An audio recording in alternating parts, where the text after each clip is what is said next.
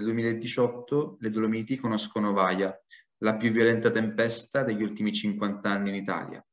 Un anticiclone extra-mediterraneo che coinvolge 494 comuni nel Triveneto, esponendoli a rischio idrogeologico, e abbatte 42 milioni di alberi, che sono quelli che vengono tagliati in Trentino in cinque anni. Ecco, sono stati spazzati via come stuzzicadenti in una sola notte. Questa calamità naturale, favorita dai cambiamenti climatici in atto nel nostro pianeta, ha lasciato una grande ferita nelle comunità del Triveneto e delle Dolomiti. Ed è così che io, Federico e Paolo, che abbiamo vissuto sulla nostra pelle gli effetti devastanti della tempesta Vaia e quindi dei cambiamenti climatici, abbiamo pensato a un modo per reagire a questa, a questa difficoltà, a questa sfida. E cosa abbiamo fatto?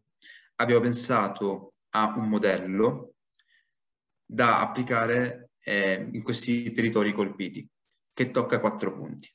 Il primo punto è recuperare una preziosa materia prima che altrimenti andrebbe sprecata e parliamo degli alberi eh, abbattuti dalla furia della tempesta.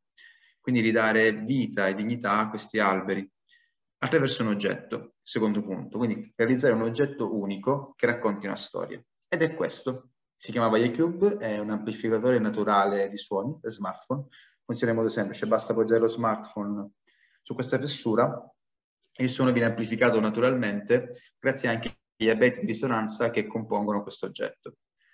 Inoltre ogni oggetto è unico perché ha una spaccatura, che vedete qui, che rievoca la ferita nella foresta e che è diversa per ogni oggetto e quindi è un segno di, di unicità e di design che caratterizza ogni nostro oggetto.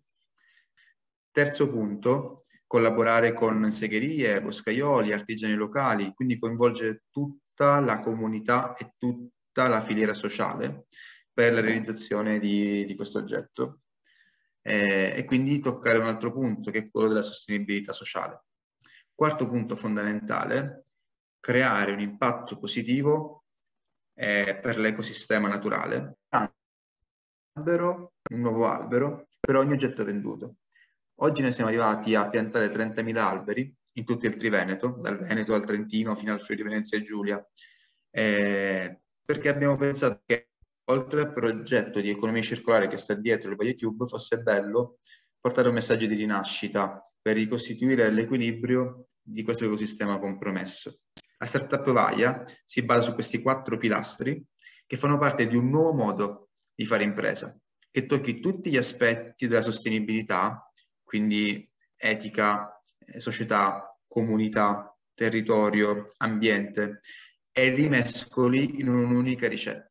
La nostra startup nasce in risposta ai cambiamenti climatici in atto nel nostro pianeta per amplificare un messaggio, per sensibilizzare rispetto a quelli che sono i temi legati ai cambiamenti climatici e abbiamo pensato di farlo in questo modo innovativo.